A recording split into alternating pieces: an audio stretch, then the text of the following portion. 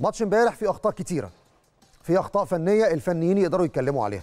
في أخطاء تحكيمية خبراء التحكيم أكتر ناس يتكلموا عليها. ولكن أنا هتكلم على سياق تاني. والسياق ده مهم جدا متعلق إن السنة دي يا جماعة سنة صعبة. مش سنة صعبة عشان الماتشات كتيرة والبطولات كتيرة لا سنة صعبة لأن التحديات كتيرة. أنت لما تنزل تلعب أي ماتش أكيد لازم تأدي وتلعب بنسبة 100% من مجهودك. ليه؟ عشان تكسب. ولكن انت الفترة اللي جاية محتاج تلعب عشان مجهودك ما يضيعش وتبذل ضعف مجهودك عشان العوامل المعاكسة اللي ممكن تقابلك في الماتشات.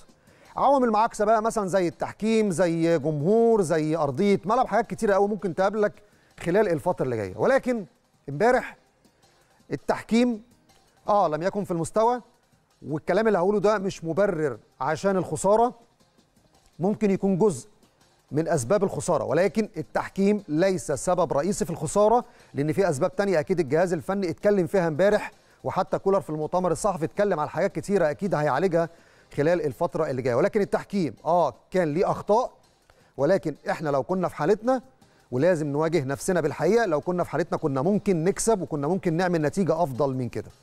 خبراء التحكيم اختلفوا في بعض اللعبات وأنا مش خبير تحكيمي فمش هتكلم في, في ألعاب معينة. ولكن امبارح ظهر إيه؟ اولا الحكم الجابوني صغير في السن 32 سنة. ويمكن إحنا هنا من أوائل الناس اللي انفردنا بأسماء طاقم التحكيم من حوالي 10 أيام من قبل ميعاد المباراة. وقلنا المباراة هيديرها حكم صغير في السن لسه من الحكام الواعدين. وعلى تقنية الفيديو الفي اي ار حكمه من موريشيوس. وقلت ساعتها دي لأول مرة يتم الاستعانة بحكمة لإدارة تقنية الفيديو في أهم مباراة زي مباراة كأس السوبر الإفريقي.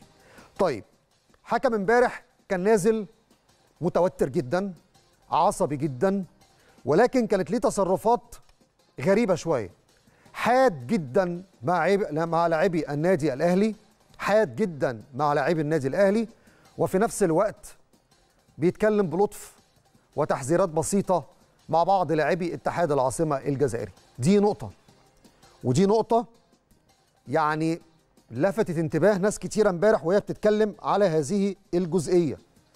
طيب النقطة الثانية الأخطاء التحكيمية اللي حصلت امبارح أي حكم معرض لها ممكن يخطأ في تقدير لعبة في احتساب ركلة جزاء في عدم احتساب ركلة جزاء. ولكن في وجود تقنية الفيديو كانت برضو نقطة غريبة جدا. ليه؟ لأن أنت المفروض تقنية الفيديو موجودة عشان تشوف اللقطات اللي زي دي الأخطاء اللي زي دي. حكم موجود على تقنية الفيديو كان أمر غريب جدا. ما عندهاش خبرات.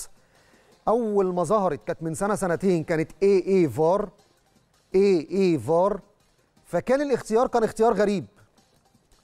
امبارح الاهلي يستحق ضربة جزاء واضحة لا يختلف عليها اتنين. ضربة جزاء لصالح كهربا.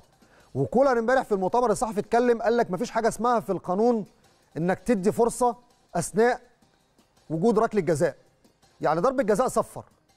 ضربة جزاء صفر. لكن تدي مساحة إن في إعطاء فرصة لإحراز هدف بعد وجود عرقلة وضربة جزاء داخل منطقة الجزاء ده اسمه تهريج وهزار.